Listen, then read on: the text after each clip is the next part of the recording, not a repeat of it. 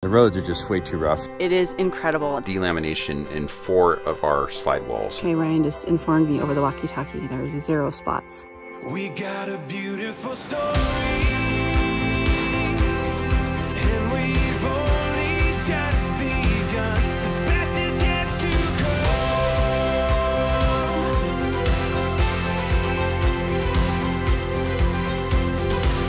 Needing to dump our tanks. It's been nine days, and so we want to get a refresh on everything before we start our next boondocking area. So I called this place, and they nobody answered the phone.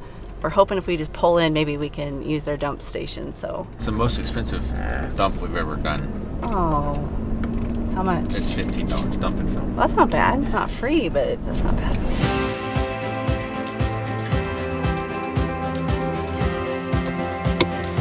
Never go get a snack when you're trying to dump the tanks.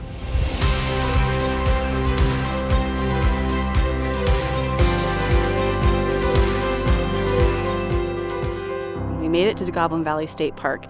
There's awesome boondocking all around. So the place that we're looking at, it talks about how there's some sand, could be rutty roads. So Ryan really wanted to kind of check it out first. Some people have gotten stuck and, you know, we don't want to get stuck. So anyway, so he unhitched and now he's driving around to go see if he can find us a spot. There's a lot of people out here. It looks pretty packed.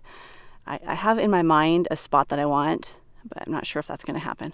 I'm just going to wait here, see what he can find.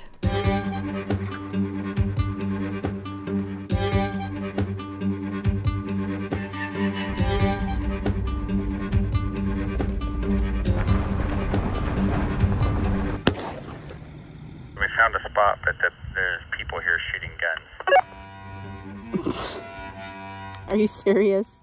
We have to abandon that spot because they're shooting and we look back and Han is shaking. Right, bad? Oh. Yeah, definitely. That's not good. if you come over here, we could set up Starlink and uh, sort of in this area. Or I could go ahead. And uh, pass you, drive it back out to the front, see if there's anything out there. Yeah, you should do that.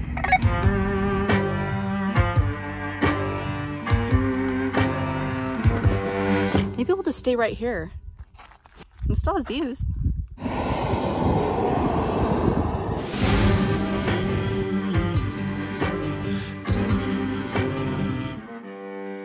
We found a spot. It's not as pretty as what we, you know, hoped coming out here, but this will do for the next couple days until all the weekend traffic leaves. And it's still a very good spot. So I need to go back now and pick up the rig and Sarah. Sarah's been sitting with the rig for probably about an hour waiting for us to find a spot.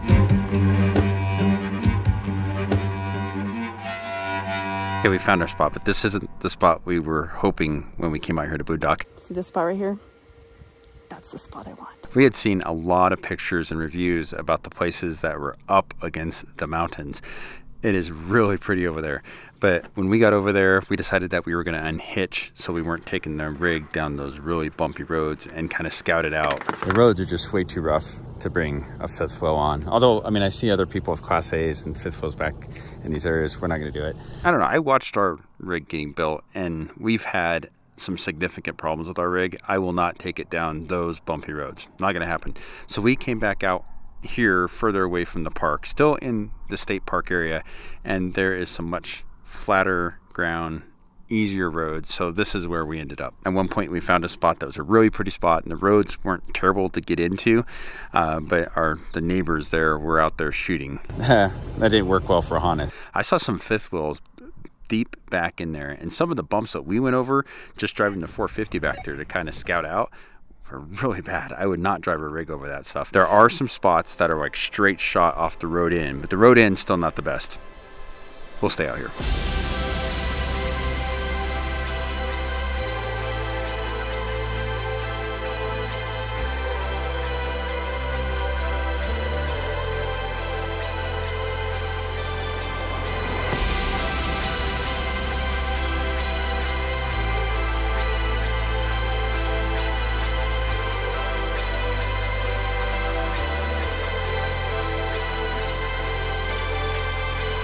I've been wanting to come to Goblin Valley for a really long time. We finally made it here. It did not disappoint me. There's so much boondocking around here, and it's actually outside the state park, so you don't have to pay for it. It's free, but if you want to go inside the state park, it's $20. You get two day access, which you want to do because you can go in and play hide and seek amongst the goblins like at sunset. That was great.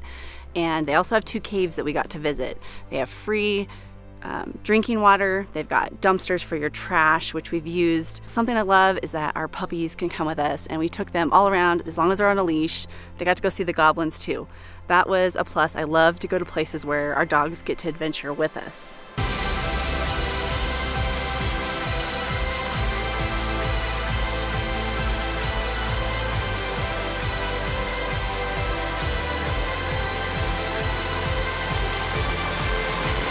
Way out here in the middle of all the goblins. This is just such a huge area. And I lost my family. Who knows where they are? They're somewhere.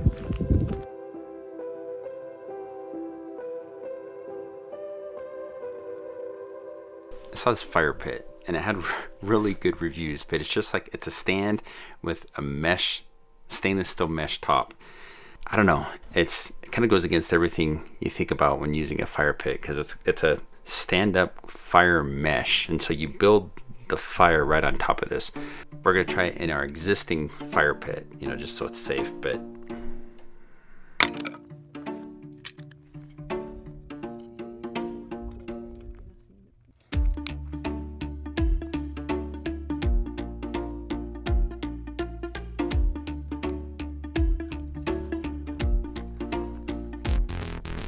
What works. It works. So the the top is made of like a stainless mesh, and all the ashes are supposed to just like fall through I haven't seen that yet. I'm just thinking like where would we use this? at the beach. You know, dig a hole in the sand, put your fire pit up, light the fire, or you just like put all the wood in the hole and light the fire without the fire pit. Get creative.